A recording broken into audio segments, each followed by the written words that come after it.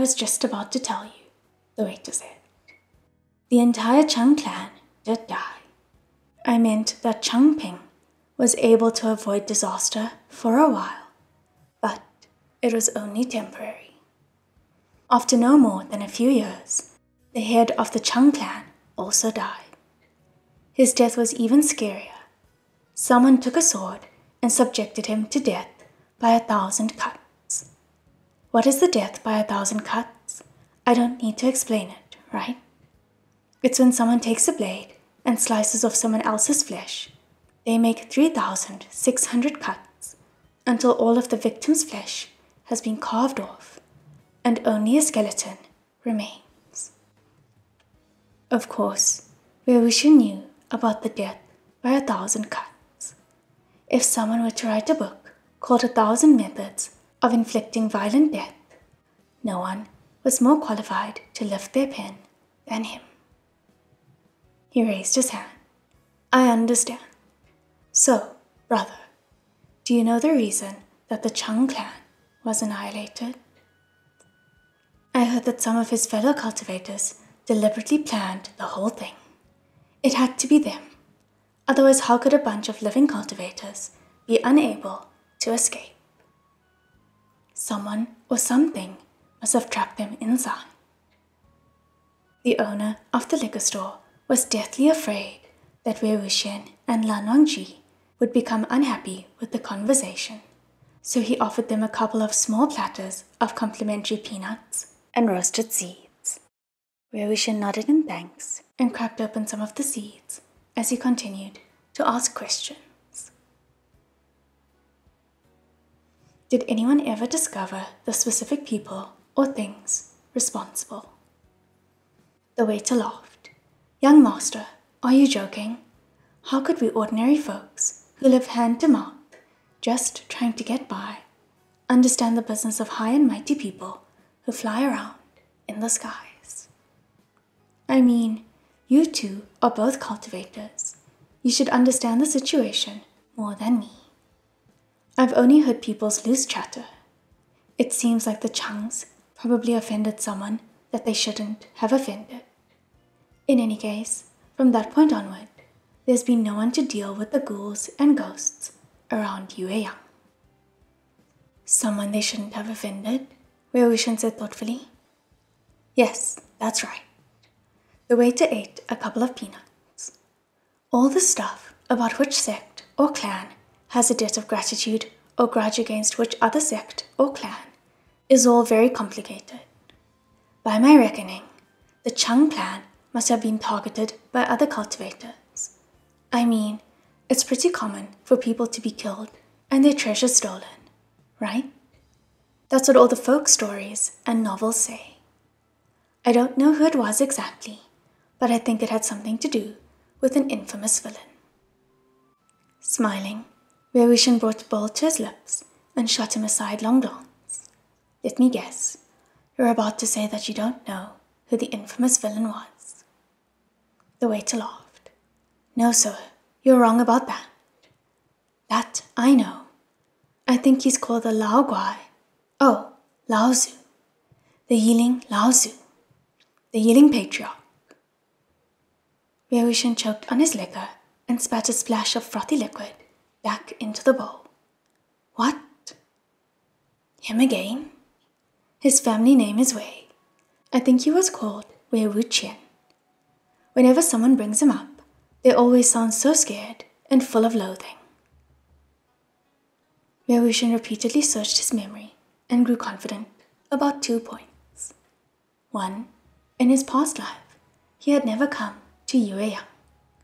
And two, out of all the people that he had killed, none of them had died of death by a thousand cuts. Filled with disbelief, he turned and looked at Lan Wangji as though he wanted an explanation. Lan Wangji had been waiting for this expression for a long time. Let us leave.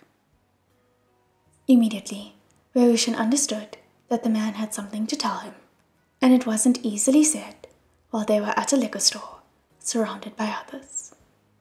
He rose. All right, let's go then. As for settling the bill, It's already been settled, right? Brother, I'm going to leave the liquor I bought here for now. Once we're done taking care of business, we'll come back and continue drinking. Half joking, he added, Make sure not to cheat me, okay? The waiter had already eaten most of the platter of peanuts. He protested loudly. How could we do such a thing? The store treats all our customers fairly and honestly. Leave them here and don't worry about them, sir. We won't close until the two of you come back. Hey, young masters, are you about to head over to the Chang house? Wow, you're amazing. Even I, a local, haven't been over there. I only have the guts to sneak a peek from afar. Are you two sirs going to enter? What are you going to do? We're also only going to sneak a peek from afar, Wuxian replied. The waiter had a very outgoing and perhaps overly friendly personality, and stopped treating Wuxian like a stranger after a single conversation. He approached him and draped an arm around his shoulder. Do you too, sirs, find your jobs tiring? Is the pay high? It must be, right? You look so respectable. Can I ask something? Is it hard to get your foot in the door? I. Right in the middle of his blabbering, the waiter suddenly slammed his mouth shut and looked in the other direction, trembling in fear. Young master, the person next to you, why is he staring at me? he said in a hushed voice. Wuxian followed his gaze in time to see Lan Wangji turn, rise, and proceed toward the liquor store's exit. Oh, him.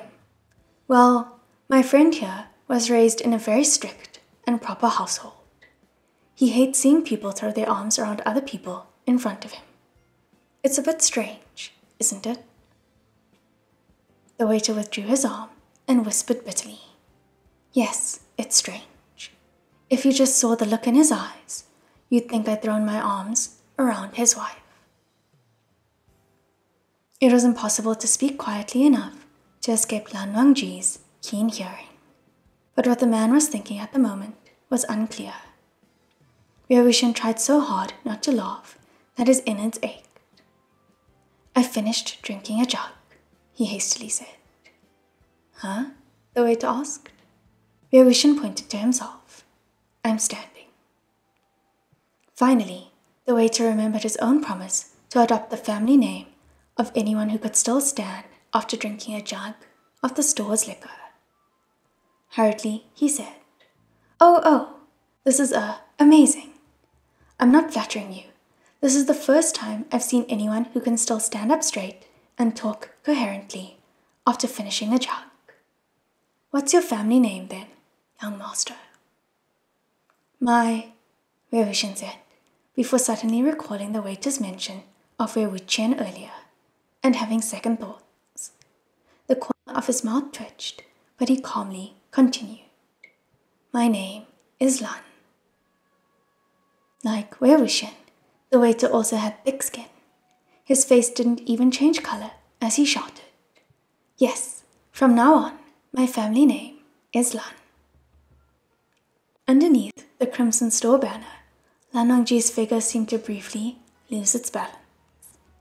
An evil smile stretched across the entirety of Wei face, and he walked over with one hand held behind his back.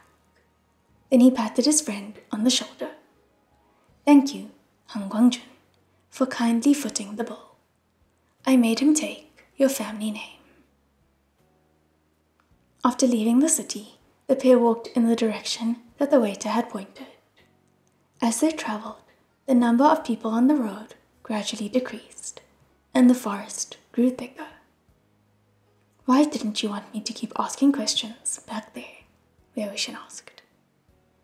I suddenly remembered that I had heard of the incident involving the Yueyang Chang clan.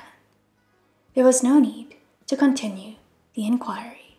Before you tell me the story, let me ask for your confirmation. I wasn't responsible for the uh, extermination of the Chang clan, was I? Setting aside the fact that 10 years ago he had already been long dead, and the fact that his soul had been very content with its resting place.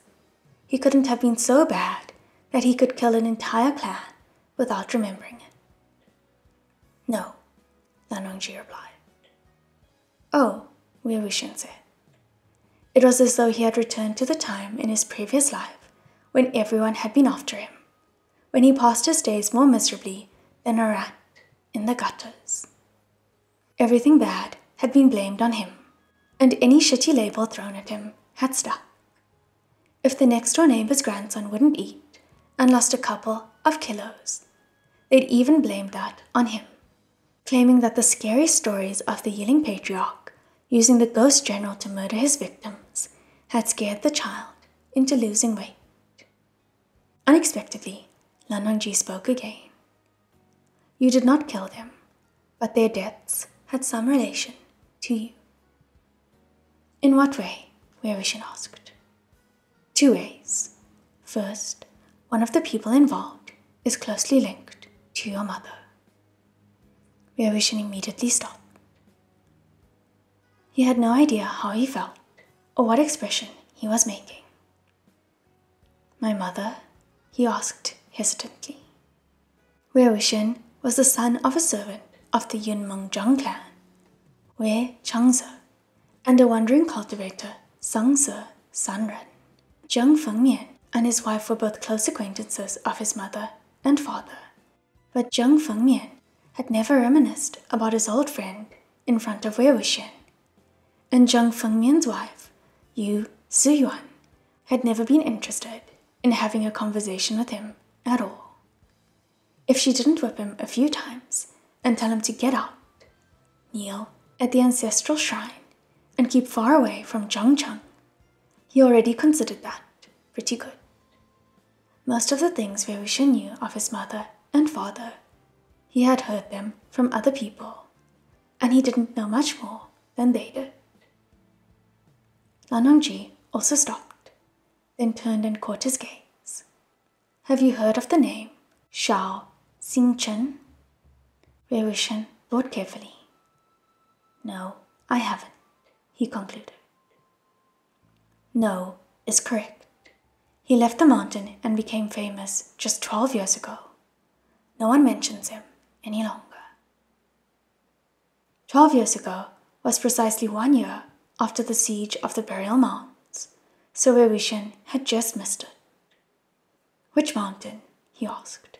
Who was his teacher? I do not know which mountain. However, I do know the name of his teacher.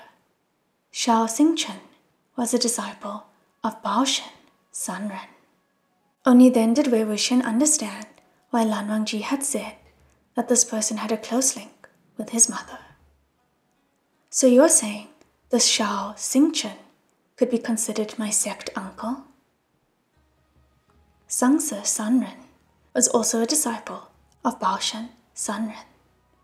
Baoshan Sanren was a cultivator who lived and practiced in seclusion from the rest of the world. It was rumored that she was a member of the same generation as Wen Mao, Lan An, and others from that era. The souls of that generation's great figures had long departed, and their bodies had long since turned to dust. But Baoshan Sanren had yet to perish, according to the rumors. If this were true, she had to be many hundreds of years old, which meant her level of cultivation was beyond exceptional. Back in that earlier time, the world of cultivation, led by Wen Mao, had started to become organized by family line, and the sects of masters and disciples, connected by shared teachings, but not shared blood, waned. The power of blood ties grew like new bamboo shoots after the spring rain. All remotely famous cultivators began to establish their own clans, except the distinguished Baoshan Sanren, who chose to return to her native mountains and enter seclusion. That was how her cultivation name became Baoshan. But which mountain she had embraced, no one knew. Though, of course, it could only be called seclusion because no one knew. if anyone could easily find her, it could hardly be called seclusion. While living in seclusion on this unnamed celestial mountain, this cultivator from generations past would often secretly descend and bring back a few abandoned children to become her disciples. But every disciple had to make a promise to single mindedly pursue cultivation and never to leave the mountain and enter the profane realm. Otherwise, regardless of the reason for their departure, they would never be allowed to return. They would have to rely on their own talents to handle the strife and struggles of human society. Their teacher and fellow disciples would no longer have any ties to them. Everyone said that Baoshan Sanren was worthy of her illustrious reputation, and the foresight that she had shown in establishing this rule was truly remarkable. This was because, in the coming centuries, only three of her disciples had left the mountain Yanling Daoren, Cangse Sanren, and Xiao Xingchen. All three had reached bad ends. What had happened to the first two disciples, Wuxian had known since childhood and had no need to hear again. Thus, what Lan Wangji told him, comprehensively and concisely, concerned only the past deeds of his sect uncle. When Xiao Xingchen had left the mountain, he had been barely 17 years of age. Though Lan Wangji had never met him, he had heard others describe the youth's grace and elegance. At the time, the Sunshot campaign had ended only a few years ago, and the storm stirred up by the siege of the burial mounds had only just passed. Each of the big clans were running wild, trying to recruit new talent. Meanwhile, Xiao Xingchen had left the mountain with hopes of saving the world. His skill was extraordinary, and his teacher was illustrious. The first time he had gone night hunting, he had faced the mountain that was the hunting ground on his own, a sword in one hand and a horsetail whisk in the other. He went on to earn first place. Thus, his name was made. Upon seeing this bright, disciplined young cultivator with such immense talent, every clan became completely enamored with him, and one after the other asked him to join them. But Xiao Xingchen tactfully rejected each one, making it clear that he did not wish to tie himself to any clan. Instead, he joined up with his best friend, and they poured their heart and soul into establishing a new sect. A sect that would not attach value to bloodlines. Xiao Xingchen's character was like a reed. Outwardly, he was soft, but his heart was firm as stone. Moreover, he lived a clean and honest lifestyle. In those days, if anyone ran into a difficult issue or a thorny problem, the first thing they thought of was to ask for his help, and he never delayed, nor did he ever refuse. Thus his reputation soared atop high, flying winds. The massacre of the Yueyang Chang clan happened just at that time.